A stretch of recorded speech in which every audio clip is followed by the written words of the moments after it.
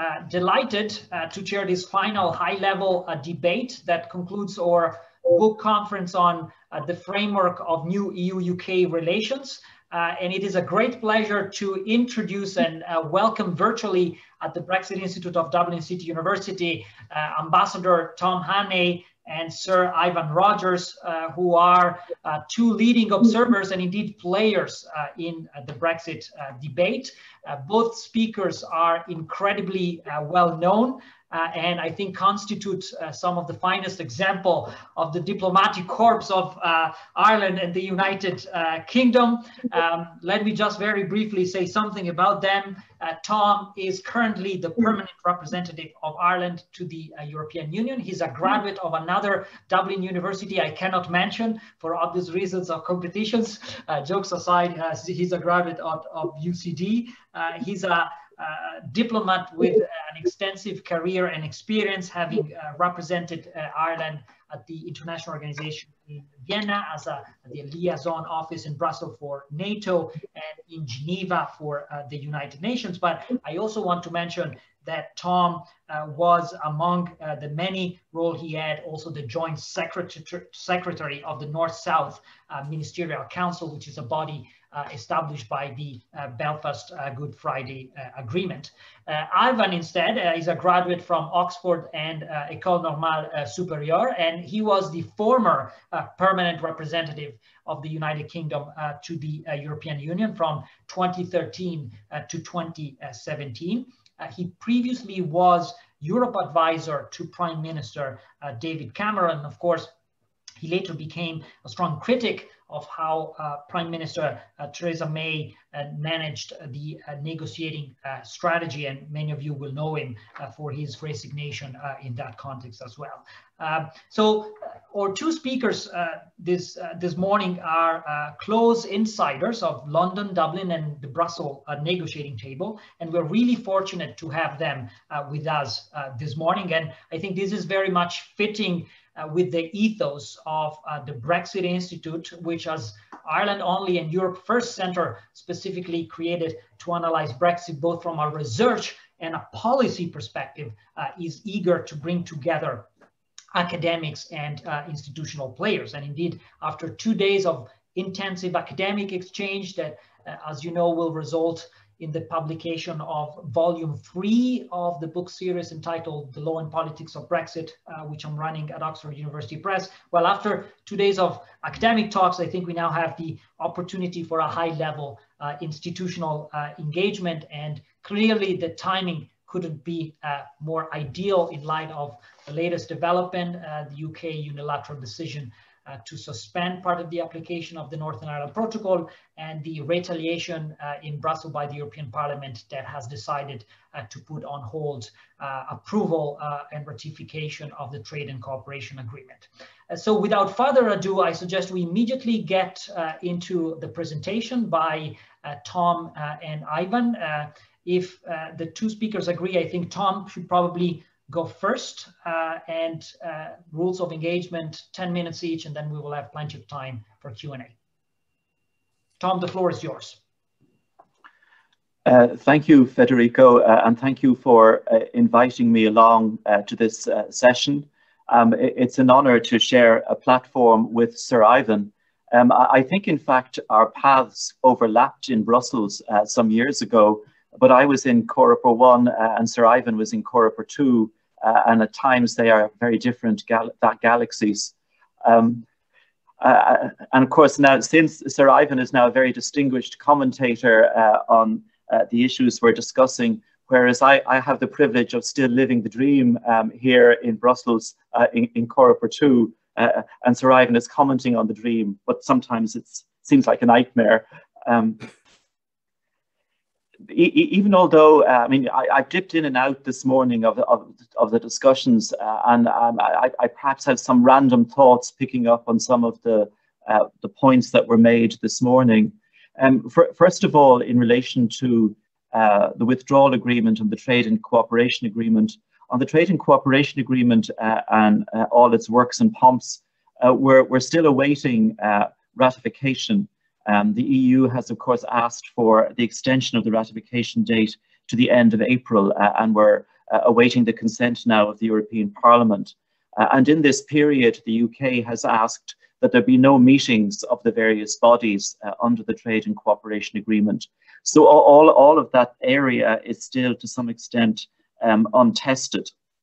Um, mean, there, there, was quite a lot of talk this morning about uh, the, the, future relationship.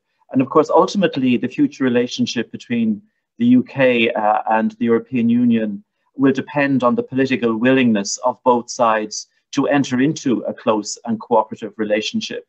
Uh, all of these agreements won't work uh, unless we actually want them to work uh, and we are committed to them. Um, and to be honest, I think from the discussions here in Brussels, people are still uh, trying to work out uh, the level and the degree of commitment uh, in London to the future relationship. Um, it, it is there, there have been political statements from London saying uh, they want the best possible relationship with the close neighbours, but at times some of the statements and some of the behaviour um, cast doubt on the level of commitment. Um, recently here in Brussels, there have been meetings uh, of the Foreign, the Foreign Affairs Council and the General Affairs Council. And in both of those councils, the issue of the future relationship between the EU and the UK was discussed by ministers. Uh, and in both discussions, it was clear uh, from the, U the EU side that there is a desire for a close, ambitious, warm uh, relationship uh, and a recognition that a neighbour on our doorstep uh, that's chairing the G7 at the moment, that's going to host the, the Glasgow A conference of Parties on Climate Change, that's a member of the Security Council, and so on. We absolutely have to have as close a possible um, relationship. Um, but on the other hand, firstly, as was said earlier, in the area of common foreign and security policy, the UK declined uh, the offer of putting re the relationship on a, on a formal legal uh, footing. Um, and there, uh, I think there is some concern that the UK's preference might be for bilateralization of the relationships uh, and a focus, first of all, on developing closer bilateral relations with some of the larger capitals. Uh, and then secondly, um, having ad hoc relationships with constellations of member states depending on the issue at stake. Uh, and that the UK preference might be to go down that road rather than developing a broader relationship uh, with the European Union uh, as such in Brussels. Uh, and secondly, uh, in the economic uh, trade security area, again, there is a desire on the EU side, I think, for a, a close cooperation. But then you hear these voices in London talking about changing the regulatory regime to unleash financial services in London um, to make the best of Brexit. Um, you hear talk of using uh, new genetic technologies uh, in agriculture now that um, the UK is freed from the EU's regulatory uh, regime. Um, you hear talk of using state subsidies for levelling up uh, and for supporting frontier technologies and so on. So a lot of the statements coming from London suggest that the UK uh, would want to be in a more competitive relationship uh, with the European Union than, than a cooperative one. Uh, and again, that gives cause for concern uh, and, and also results in a very strong focus by the EU side on the whole issue of level playing field, dynamic alignment, uh, and so on. So I, I, think we're probably, I mean, we're in the early phases of, of, of the departure of the UK, uh, and we're still in Brussels waiting to see what direction uh, the global Britain will go in. Uh, and I, I, think that the, the imminent publication of um, this UK uh, paper on the future foreign security and defence policy, this integrated um, paper, uh, will, be of, of interest. Um, secondly, I, I think, and I don't know whether it's fully appreciated in London, uh, the, the later stages of the negotiations uh, on the TCA were very much overshadowed on the EU side by the arrival of the pandemic uh, and intense discussions in Brussels on how to deal with this uh, in, a, in an area where you had free movement of goods, people, services, and so on. Um, and the, the pandemic is, is having and going to have quite profound effects on the way the European Union uh, operates in the future. Uh, and one of the effects, uh, one from an Irish point of view that's, that's not so attractive, is now a very strong emphasis uh, internally in the European Union on this new concept uh, of strategic autonomy. Nobody quite knows what this means. Um, it, it, seems to have meanings ranging from uh, resilience uh, along a spectrum uh, to protectionism. Uh, and it's resulted in a European Union which is increasingly inward looking and more focused on developing um, its own internal systems to be a, a, a, global player, to be able to protect itself uh, in a world where globalization uh, is now in, date, in doubt, uh, to developing a new sort of more equal relationship with the United States, uh, to look to its relationship with China in a different way to the way in which the United States is looking, uh, and so on. And in all of this discussion uh, on strategic autonomy and the role of the European Union, you don't really hear much talk of the role of the United Kingdom. Uh, and in, in fact, in, in, in the internal discussions uh, in, in, in the EU, it is to some extent striking uh, the degree to which the departure of the UK has almost now been, been forgotten, uh, if, if that's not too strong a word. Um, I think towards the closing phases of the negotiation last year, there was definitely a strong sense of exhaustion around the table uh, with all issues to do with the United Kingdom. Uh, and the fact that some of those issues are now still there is almost an irritant. There's a strong desire to move on, to look at bigger issues, to deal with the, the big economic challenges in the post-COVID world, uh, to look at the EU's strategic relationships with other big powers around the world. Uh, and of course, we want, um, there is a desire to, to have a good relationship with the UK, but it's, it's, it's definitely not up there among the top few issues that are under discussion um, in Brussels. Uh, and finally, just to mention, uh, in, the, in, the, in the negotiations of the Trade and Cooperation Agreement, I, I think one, one issue, there are two, two points worth stressing. First of all, the European Union remained united in all of this throughout the negotiation, throughout the negotiations of the withdrawal agreement and of the trade and cooperation agreement. And it remained united almost to the surprise of itself. Um, and despite efforts by the United Kingdom uh, to, to, divide the, UK, the EU through, throughout the negotiations, the EU managed to remain united. Uh, and this has left a, a, sort of a positive taste uh, in the EU. Uh, and the EU seems determined to remain united uh, on this. And also, it's given the EU an appetite to become more united uh, on, on, on other issues. And secondly, the approach of the UK throughout the trade and cooperation agreement negotiations was quite confrontational, quite aggressive, um, the word sovereignty was mentioned uh, again uh, uh, and again. Um, Michel Barnier was very conscious of his mandate, but also conscious of the red lines set by the UK throughout the negotiations. Uh, and I think, to be honest, the approach of the UK throughout the negotiations has left a sour taste. Um, it, it hasn't, the negotiations did not end in, a, in an air of mutual celebration. Um, in Brussels, uh, the air at the end of it was disgruntled. It, it wasn't a happy ending. Um, and uh, the fact that the whole thing was concluded at a Coreper meeting on Christmas Day uh, didn't add to the, the, the, joy of the occasion. Um, finally, just to mention, um, uh, and you mentioned it at the beginning, Federico, the protocol um, on, on Ireland, Northern Ireland. Um, we have had some recent difficulties uh, in the protocol. Um, I, I, think uh, for our side, uh, for, the, for the government in Dublin and also for the European Union, we are very strongly determined to make sure that the protocol is implemented fully uh, and effectively. It is seen as the solution agreed to by both sides uh, to have no hard border in, on the island of Ireland, to protect the integrity uh, of the single market uh, and Ireland's place in it, and to support the Good Friday Agreement. Uh, and it is the way forward. Um, that, so, that there are definitely problems arising from the implementation of the protocol, but they're not really problems arising from the protocol itself. They're problems arising from Brexit uh, and from the decisions that the UK took on the nature of its future relationship uh, with the European Union.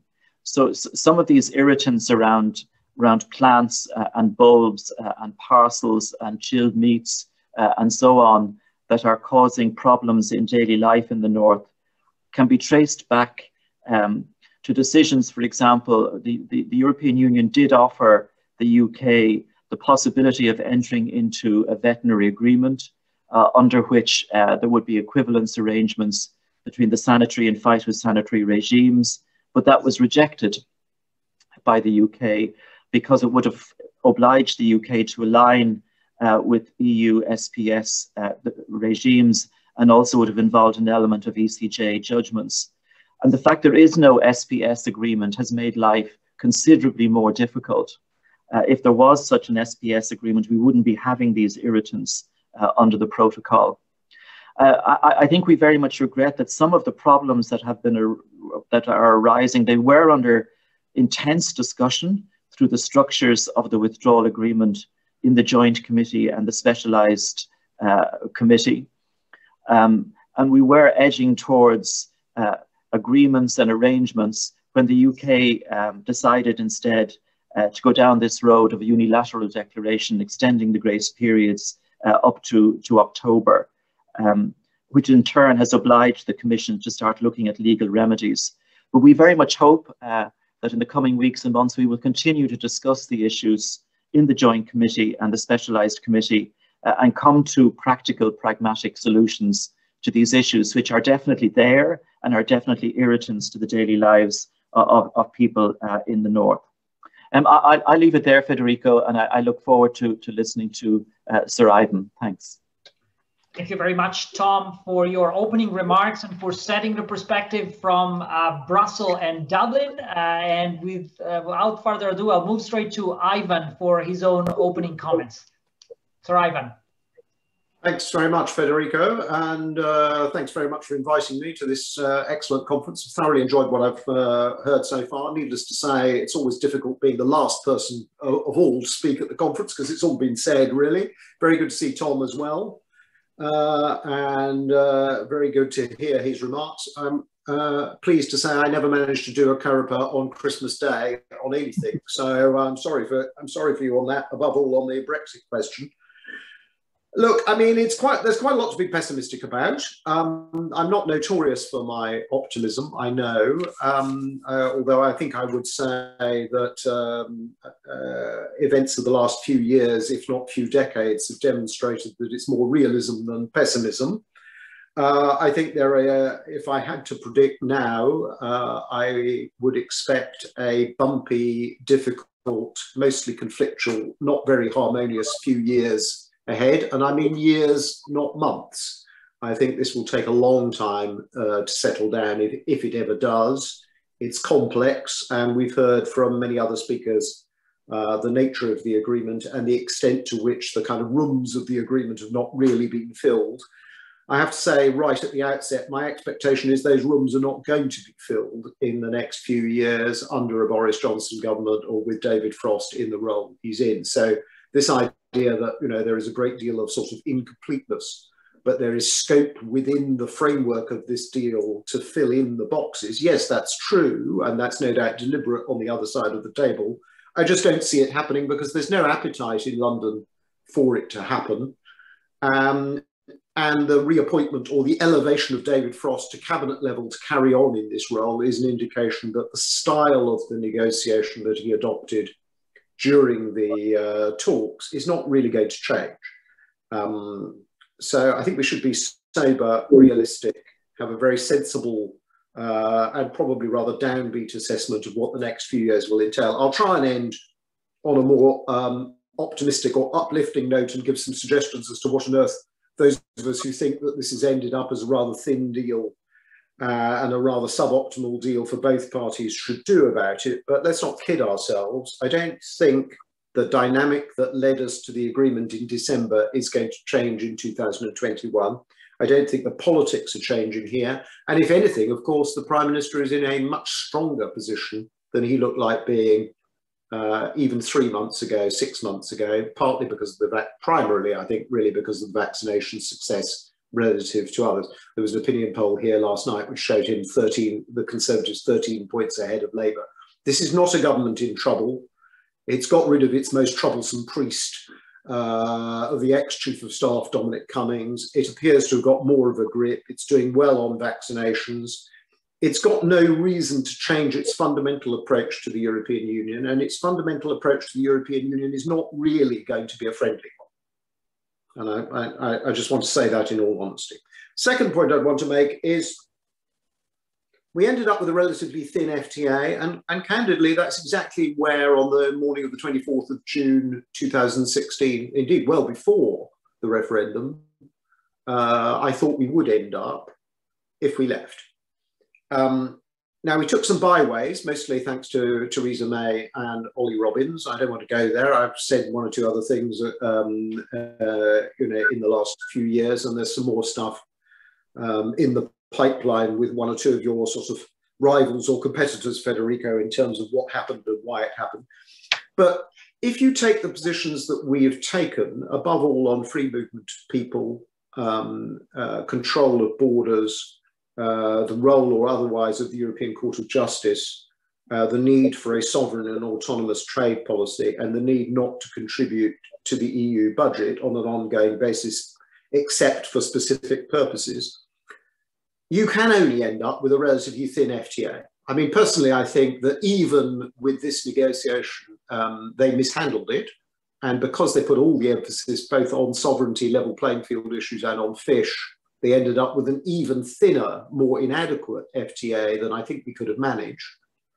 But one of the reasons for my exit, or one of the uh, immediate proximate causes for my exit, was saying in October 2016 that the key people to whom I was talking around Brussels and Strasbourg and capitals at that point, when listening to Theresa May's fateful um, party conference speech, had concluded that if that was serious and her red lines were serious, we could only end up with a thin FTA. There was nothing deeper and more fundamental compatible with those red lines.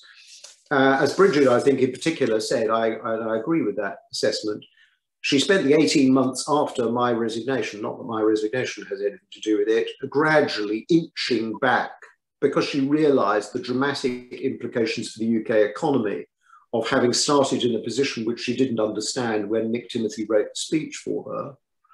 Um, uh, she gradually inched back to what became uh, the Mansion House speech in the, in spring of 2018 and the Chequers uh, potential deal internal deal of July 2018. But as Bridget also said, that's the point at which both David Davis and Boris Johnson quit. And from that point, she's really dead woman walking. And the European Union leaders were right to think that she hadn't got a cat in hell's chance of getting her own version of Brexit through the House of Commons. It's just, it's just that we spent an inordinate amount of time proving it. Um, and then she only fell nine to 12 months later, and we ended up with Boris Johnson because no other person other than Boris Johnson could at that point have taken over. And Boris Johnson, I mean, sometimes he wears his ideology lightly, and people say, you know, he, he um, isn't an ideologist of Brexit and chose this simply for career purposes in 2016 because it was his best route to the Conservative leadership. I don't buy that. I mean, I did work for him as Foreign Secretary. I heard him repeatedly internally as Foreign Secretary. This is a man who believed that the purpose of Brexit was radical divergence from the European Union model. And that remains the intention. We can come on to the, the question then of sovereignty and autonomy and what you do with that capacity to diverge. But that was always the Johnson vision. And Northern Ireland and the Irish border question was always, I mean, even secondary would be, you know, kind um, as a description of Johnson's preoccupation about this back in 2016. Um, he never wanted the Irish border question to dictate the shape of the Brexit that he delivered. And the Brexit he delivered was always going to be a thin free trade agreement, goods heavy and services light, um, and was, uh, you know, he never wanted the Northern Ireland problem to dictate the shape of Brexit. And he was vehemently opposed to both her ideas, Ollie Robbins's ideas, and Philip Hammond's ideas about a potential quasi customs union arrangement from the very outset. So I don't think we should, I mean, this is all looking backwards and I want to look forwards, but we've ended up where I thought we would end up. And it's deeply unsurprising. And I think we're going to stay there for a number of years, obviously under a different administration, different leadership, um, and in a different sort of constellation, probably with a different commission.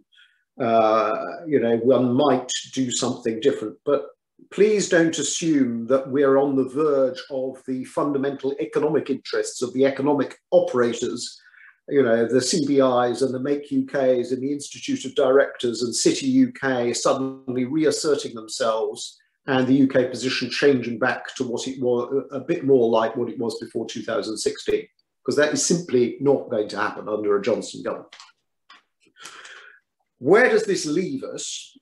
Look, I think this deal, if I'm honest from the outside, I agree with a lot of what I've heard from this conference. It's, it's, it's fragile. Um, um, but I'm pleased that there is a deal as opposed to no deal. Uh, we risked at many points ending up with absolutely nothing, and indeed the government uh, pointing in that direction. We've ended up with something which is a basis, it is a framework, and we have to see whether both the Partnership Council and the attendant technocratic committees can be made to work, and whether the dispute resolution and arbitration mechanisms can be made to work. I think that's a big if. And I think this requires a lot of effort from both sides. And as others have said, I'm not sure it's going to get it from the British side because I don't think David Frost, from the outset, has ever been bought into the government superstructure that he's ended up with and ended up having to agree. Frost is certainly not a believer in the structure of technical committees that we've ended up with. And the question is if the, if the UK effectively, I'm not saying sabotages it, but finds a way essentially to void those of very serious content or ensures that there's no real connection between the technical and technocratic level and the political level, then we've got a big problem. And he's our guy in the end on the Joint Partnership Council, and he and the, the relationship between Frost and Šefčovič will be crucial if we're ever to solve problems. My reservations about, I mean, I've got loads of reservations about the governance and dispute resolution mechanisms, although I'm not criticizing anybody who came up with them. It's a, it's a complex process. I can see why we ended up where we ended up. The difficulty as an old kind of trade bore and trade negotiator is if you end up with too many complex um, issues and difficult issues for both sides going to dispute resolution. And the dispute resolution mechanism has to work at speed for the European Union side. That's why we've ended up with them having to go to arbitration panels much faster than in the WTO um, system. And that would be intolerable for France, Germany, and others not to end up there. The difficulty is if you overload the dispute resolution mechanism, I think uh, the whole thing will capsize. Um, and I do think that's a serious possibility on a sort of 12 month timescale if it's overloaded. So I think it's incumbent on both sides to find ways to avoid overloading it. And that points to the intelligent, serious, sensible use of the Partnership Council. But that requires, of course, an approach to the Partnership Council which recognizes that it is going to have to meet really pretty regularly and at principles level, not just at technical level. And it's going to have to find ways to diffuse disputes and prevent grenades going off rather than deliberately lobbing more grenades into this relationship. And as you've seen so far, both during the negotiation and this week, David Frost is very much minded to lob grenades into uh, the relationship. This week is a classic example. I mean, I predicted it again that it would come it, it always seemed to me that the UK was going to do what it did this week. It was never going to allow the, the uh, conversation to go on in the Partnership Council. I suspect agreement could have been, would have been reached in the Partnership Council to extend grace periods. The UK deliberately chose not to do it that way and deliberately chose to bust the agreement by unilaterally declaring that the grace periods would be extended. That tells you a lot about the political dynamics where I'm sitting and in London, those political dynamics are not going to change. So you're going to get more of that from Frost and Johnson and Lewis and others, not less of it. So that all sounds like a council of despair, um, I know, and a kind of how does the union react? Because I can see then from the union's angle, you know, and I'm sure this is common to the member states and the European Parliament, not just the Commission, the reaction then is, of course, to sort of reach for infringement proceedings and say, okay, well, under the protocol, we can take you to the ECJ, and that's what we'll do. And, and of course, that's what the Commission is now doing. And that will make matters worse. I mean, I'm not blaming them for doing it. That's, I think they're, they're inevitably going to do it. But I do think it will make matters worse and we'll get a toxic political counter reaction here. And I think, you know, Frost in particular knew perfectly well that that would be the reaction function of the European Commission, and he did it anyway. So we do have to face realities here that this is kind of very fragile. It's difficult, and the political incentives on the actors, probably at both ends, and certainly at this end, are not necessarily to make this more stable. And the same applies, of course, to the Northern Ireland Protocol. Look, there's a limit to what I can say in the time available about that. It's a long and difficult history of why we ended up where we ended up. Boris Johnson did indeed, as Brigid said, sign on something which his predecessor had, in my view, rightly said that no British Prime Minister could ever sign off on. She really did contort herself on the Northern Ireland issue and get very well acquainted with it. Sadly, in my view, rather too late in her time in office, but she did get her head round it. And it did, to a significant degree, um, constrain uh, the version of Brexit that she ultimately chose, but couldn't get through her own party. None of that applied to Boris Johnson we ended up with a protocol which he grossly oversold and missold as a negotiating triumph. But is he wedded to the substance of the Northern Ireland Protocol in the way that the other side of the table understands it? No, I don't believe he is. So that too is fragile. And the difficulty now, and you don't need me to tell you, is um, the this is a, a, genuinely constitutional issue. It's not simply a technical issue. I think Bertie Ahern rightly said that yesterday the, these are highly sensitive questions and they're becoming more sensitive. Now, you can argue, some will argue that some of this is attributable to the irresponsible statements of Boris Johnson and others, which have whipped up unionist sentiment and persuaded them that the protocol is something that they might yet be able to get rid of. Leave that aside, it's becoming more complex and more difficult and more contentious on the unionist side. Um, and this might um, this might get worse. So we now got an extremely delicate situation, which again needs extremely sensitive handling on both sides. And the experience of the last six, six to eight weeks has been very depressing. I mean, the Commission made a fundamental error on the 13th floor of the Berlaymont to come up with its Article 16 procedure. Okay, it withdrew it within hours, but it did a lot of damage even by thinking about it and visibly thinking about it. And what the UK is doing is no doubt exacerbating that situation. What do we do um, to end on a more positive note? As I say, let's be realistic about where we are. Let's be realistic about the kind of political incentives on both sides. Let's not be naive after the experience of the last four and a half, five years, and indeed arguably much longer, that all of this is about miraculously to change and we're going to love each other greatly in the next few years, because that isn't going to happen. But it does require a lot of work and a lot of choreography behind the scenes and a lot of thinking about what packages, mini packages could be put together, both on the protocol and on the handling of, you know, some of the kind of easements and um, mitigations uh, uh, on the TCA and on the way in which that gets implemented. Um, it seems to me they're going to have to be mini packages built which have political buy-in, which give wins to both sides, which are saleable back home which start to take uh, the heat out of the issue and start to make both sides believe that if they invest in the Partnership Council at the political level as well as at the technical level, they can make serious progress with each other. Now, that feels a long way off to me at the moment, but I don't see an alternative to it. As I say, I would I'd be very worried. I do think, uh, Brigid and others again referred to it, I think that there's work going on around Whitehall. There is work going on around Whitehall to look at where we can reap competitive advantage from diverging. You can't stop that work on the European Union side of the table. Any UK government having done Brexit will instruct its civil servants to find ways now in which we can legislate and regulate to outcompete the European Union and take advantage. And let's be honest, the instructions that you will have, I'll stop in half a minute, uh, the instructions that you'll have as permanent representative uh, for the UK in Brussels or uh, the key the key people in London will be to say we are diverging, but we're not diverging in a way which subverts this agreement or subverts the single market.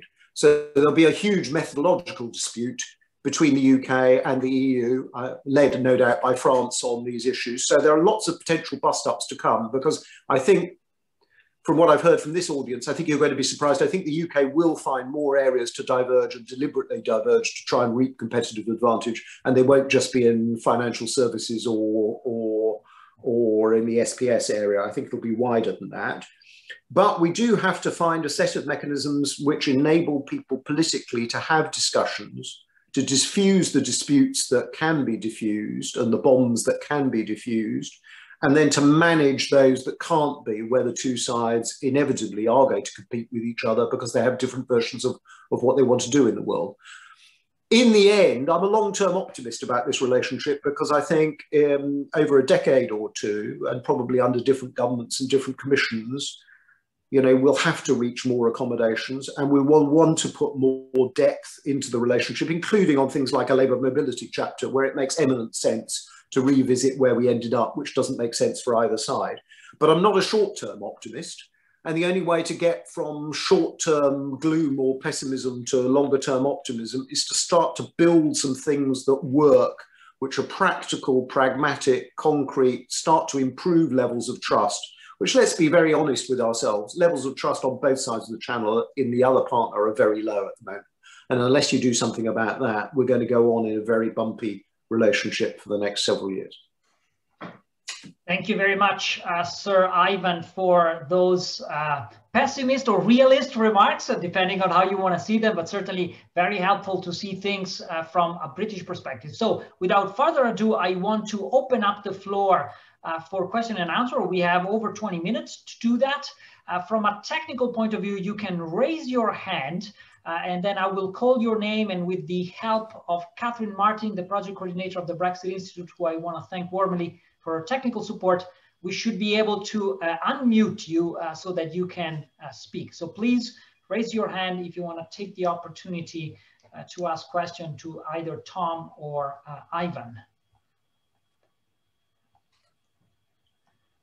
And maybe just to break the ice as I wait for people to raise their hand, I, will abuse my role as chair uh, and take the opportunity to ask myself a question to both uh, to both speaker, which is uh, what I call the Biden effect. We actually started the conference uh, yesterday afternoon uh, with an excellent presentation by uh, Michael Cox of, of LSE, who, who, explained the sort of the transatlantic context within which Brexit is taking place and, and clearly uh, as he was emphasizing, the Biden victor, victory is, is a game changer to a large extent because he's a staunch supporter of, of the Good Friday Agreement, Belfast Good Friday Agreement, and, and the protocol. So I'd be curious to uh, hear your views on, on whether action taken by the UK uh, yesterday will be will will produce a response uh, in Washington D.C. Actually, what Washington did yesterday was to lift uh, the uh, uh subsidies. Um, on, on, on, on UK trade. So not, not quite exactly a strong answer to that. Of course, the, the two things are unconnected, but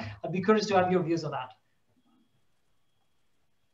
Well, just quickly, look, I mean, I think it's um, it's probably healthier all round uh, for multiple reasons, well beyond this relationship that we have ended up with Biden, not Trump. I do think it was possible that I, if we'd had a Trump administration, that Johnson would have walked from the table and we would have ended up with no deal because he would have been more encouraged in that direction by Trump.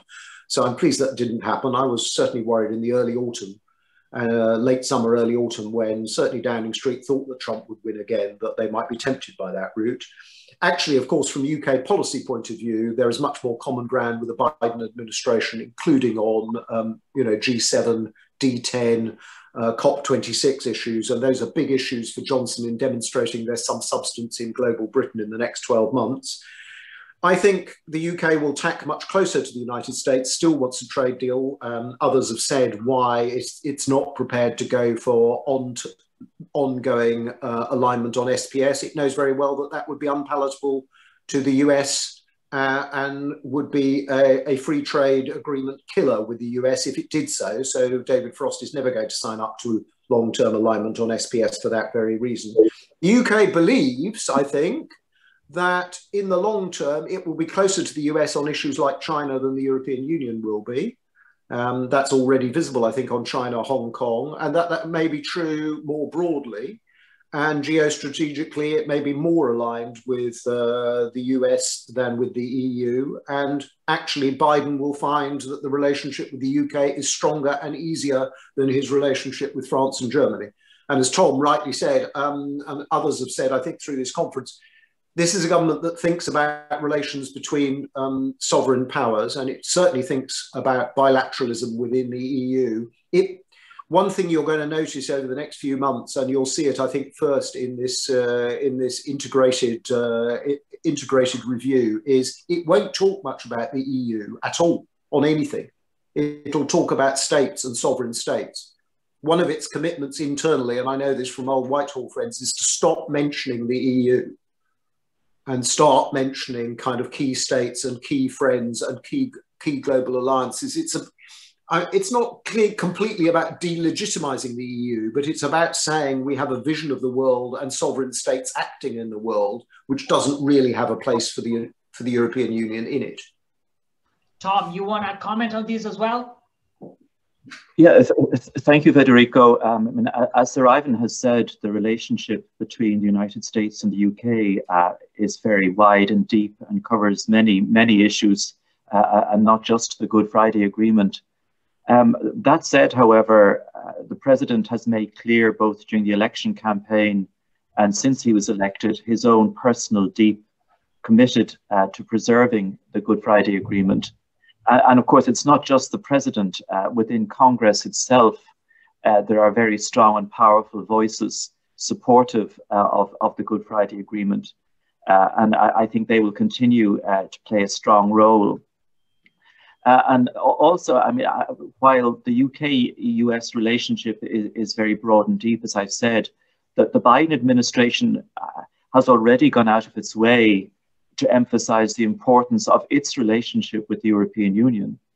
Um, the Secretary of State addressed uh, foreign ministers at the last Foreign Affairs Council, uh, and we hear repeatedly uh, from the Biden administration the need for the US uh, to reset, um, uh, strengthen its relationship with the EU.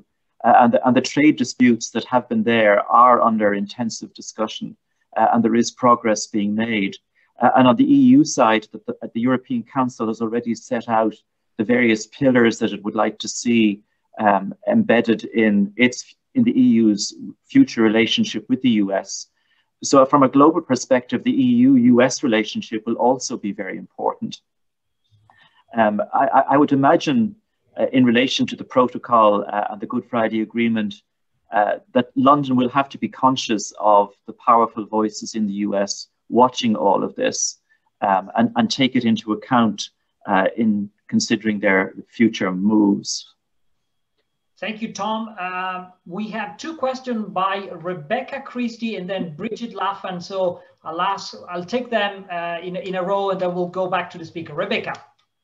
Thanks very much. Hi, I really enjoyed your presentations and it's nice to see your faces again. Uh, I wanted to ask about the role of the financial services sector and the city, and specifically, if Europe will, if you think that Europe will be looking deliberately to minimize dependence on London regardless of where we end up in equivalence and trade like that. Does the EU have a strong incentive to diversify among the third countries that it works with financially? Or is there still kind of a desire, or at least a, a willingness to let inertia hold and keep working with London, even though it's more expensive more complicated now? Um, I bet you both um, have different views on that, so I'd be really interested in how it looks. Thanks. Thank you, Rebecca. Brigid? Uh, if if I could ask, I have a question both both for Sir Ivan and the ambassadors. So, Sir Ivan, when do you think there might be the political space for the kinds of mini packages that you talk about? Because certainly it strikes me there's not much space now. So, what sort of are we a year or whatever? So, the the opportunity structure, and then, ambassador, how vigilant are the member states going to be about the TCA and its implementation? Are they going to watch very carefully for divergence, for potential threat, competition? In other words, how seized of the agreement will they be over the next period? Thank you. Thank you, Brigid. Um, maybe we'll start with Tom now, if that's fine. Um, thank you, Federico. Um, first of all, on, on financial services, um, when the UK was a, a member, I mean, London was a clear asset for the European Union. uh, with its wide and deep pools of capital uh, and the expertise in a huge range of financial services. Um, now, that the UK has gone, um, the, the whole issue I mentioned earlier of EU strategic autonomy has also come into play. Uh, and the European Union, uh, among for many member states, um, is looking at the issue, first of all, um, from the perspective of, of regulatory control. Um, uh, many member states are uncomfortable with the idea that the EU should be reliant on a huge capital market over which uh, it's going to have relatively little regulatory influence. Um, secondly, on strategic autonomy, um, many member states are now of the view that the European Union itself should have uh, resort to its own financial capacity uh, and deepen its own capital markets union. Um, and therefore, I, I, think there is an appetite to try and repatriate quite a significant chunk of the financial services industry into the European Union. So I, I wouldn't be entirely over optimistic uh, that there will be uh, a strong equivalence regime in the future, or that this promised memorandum of understanding will lead to uh, very strong and positive developments in the relationship between the two sides on financial services. Uh, and secondly, in relation to Brigid's question uh, on the trade and cooperation agreement, the European Union is setting itself up to be extremely vigilant uh, in relation to the implementation of the agreement. Um, the internal structures are being established uh, to make sure there is strong internal coherence that there is strong monitoring of developments in the United Kingdom, uh, that those developments can be discussed uh, in the European Union, uh, and that action can be taken if necessary. Um, there is quite a detailed process, uh, institutional types discussion going on as to how internally the European Union will arrange itself to make sure that it can fully avail of the the, process, the procedures uh, and institutions of the TCA if necessary. Uh, and there will be very strong vigilance over the actions uh, of the UK uh, in the economic and trade area in particular in future. Ivan, do you want to follow up? Sure. Um, Look, on financial services, I, I share that essential view. I think I'm quite pessimistic about where this ends up on equivalence and exactly what would be in the memorandum of understanding. I have been along with Jonathan Hill for about the last four or five years on this and saying so to uh, both the Treasury and the Bank of England. Nobody, nobody much listening as far as I can see. Um, uh, I always thought it would be. Look, to be very clear, because I'm a Treasury person by origin, I never thought we could end up in an EEA type relationship with uh, with uh, the EU, unlike, for example, David Frost, who publicly uh, advocated being in such a relationship. Um, I knew from Treasury and Bank of England background and concerns about financial stability issues that that was not a runner uh, and was never going to be a runner. So I totally understand the Andrew Bailey position. I don't agree with his view at the Mansion House speech of the other night about what the EU is doing on equivalence regimes, because it seems to me to be doing exactly in relation to us what it would do and has done in relation to other countries. And I think that's a view shared by Jonathan Hill and others who used to take equivalence decisions. I think this is difficult. Look, the difficulty on financial services is this is no longer an entirely, probably never has been, an entirely sort of rational economic debate about what would be optimal. I don't like the language of strategic autonomy, but it's inevitably a reaction to a sovereigntist argument advanced by us, and it's an understandable argument. And when I was negotiating the kind of Cameron package uh, on the renegotiation, financial services, financial stability, and the relationship between the Eurozone and single market countries outside the Eurozone was central. And one of the things that I repeatedly said to Cameron and Osborne was this is all immensely difficult, even when we're together in the single market, but we're outside the monetary union. And there are huge tensions between monetary union interests and our interests. But when you're outside the town walls altogether and you've left the European Union, uh, you could very easily be completely screwed. So it doesn't surprise me we're here. I don't agree with the Bailey account of why we're here or the behavior on the other side. I'm not very optimistic about where it ends up. I don't think this is necessarily very rational policy from the EU side because I think there's real risks for them in seeing fragmentation around multiple capitals. And I think the real risk for them is actually a lot of the a lot of London activity disappears to New York or to the Far East and goes nowhere near the European Union. But we're not in that world. We're in a politicized and political world and a sovereignty versus strategic autonomy world. And that's not a brilliant place to be in terms of uh, the future economic prosperity of either the continent or the UK. But we are where we are. I hope, again, over time, that between regulators and supervisors and sort of sensible people behind the scenes, you could start to put Humpty Dumpty back together again and do some sensible, sensible things. But there's no political appetite to do some sensible things here at the moment, and I don't think there will be much on the other side. Brigid's question about could you get to mini packages, does the politics permit it? Look, it doesn't feel like it at the moment, it feels the opposite. Um, the question is, can you, you know, can you make a modest start somewhere with doing some things on both sides, which would have to be reciprocated because you couldn't make a unilateral gesture without being hammered by your own side for doing it. So Frost can't do that and won't risk it, but nor can Šefčovič. So it does need a kind of deep discussion or, you know, and it's a difficult one to have of, you know, if I found a way to move things on this, and I don't know, this could be bivalve mollusks for all I know. I mean, it might well be. Um, but you've got to find one or two things where you really push the boat and you push the member states on the EU side. And Frost really pushes his internal constituency on our side and saying, oh, well, let's put together something here which gives us, you know, gives us both a couple of modest wins.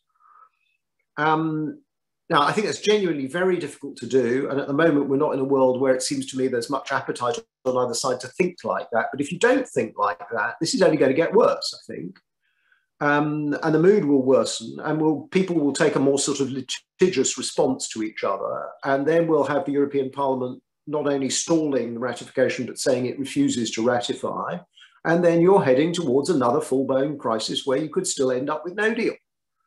And in the end, this is not a sensible place to end up. So it's risky for both major players. This is why you know the choice of Frost may make it more difficult because he got no political background and pedigree and suddenly being elevated to the cabinet. Whereas you could imagine Michael Gove um, having the confidence to think, well, actually, we need to build one or two things here that were not in the original agreement.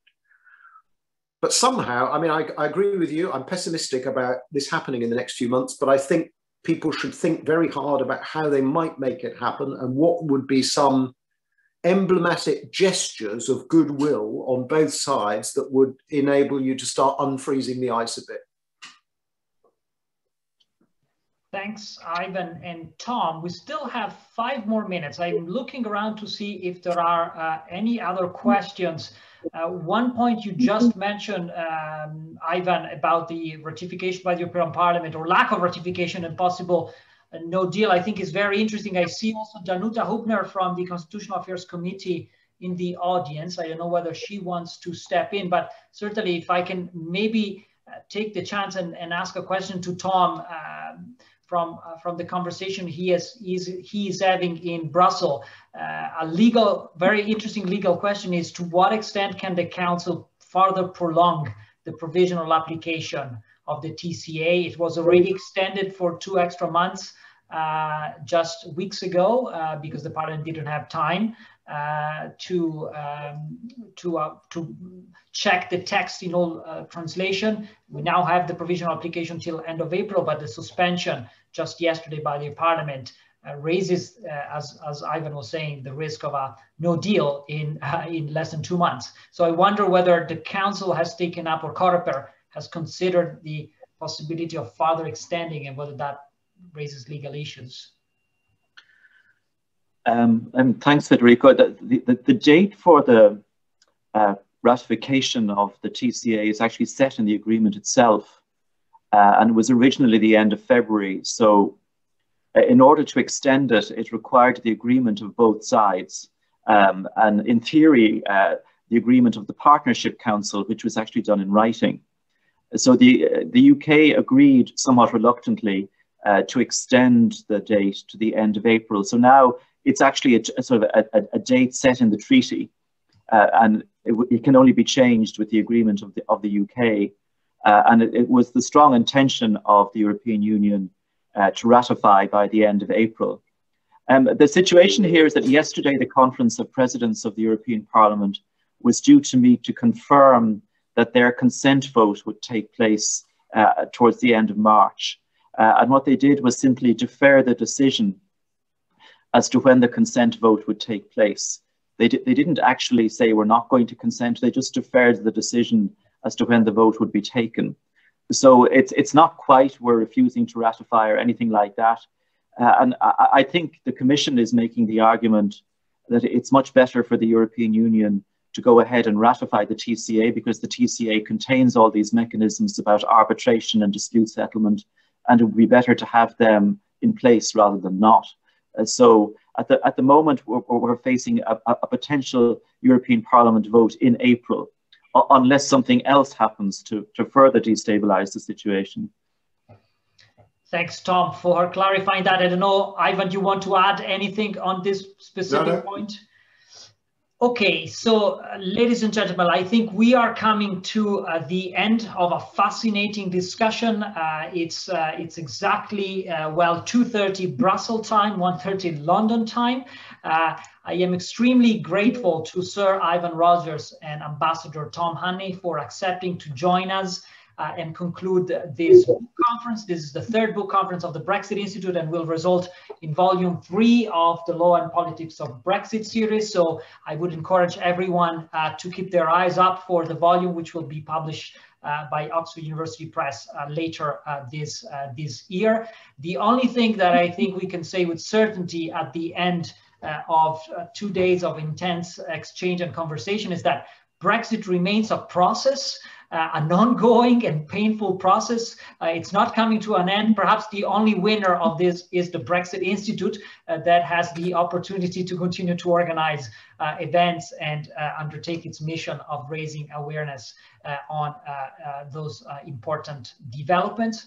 So I would like to take once again the opportunity to thank all the speakers, all the participants, as well as, of course, all the sponsors of the Brexit Institute, uh, GSK, Stockmann, Luxembourg, uh, Grant Thornton, and AIB, as well as I shall acknowledge uh, the European Commission, which is funding partially the Institute uh, through the Erasmus Plus uh, program for the Bridge project we are running. Uh, obviously, the help of our sponsor is crucial to allowing the Institute to undertake its mission. Uh, and what I will only say as a final word is please stay tuned uh, with the Institute. We have an intense series of activities coming up uh, in the next few months already uh, in April with a high level event featuring a commissioner. Uh, so this is uh, just the end of the conference, but certainly not the end of our activities. And I very much look forward to further opportunities to meeting and engaging with you. So I wish you a lovely weekend until soon.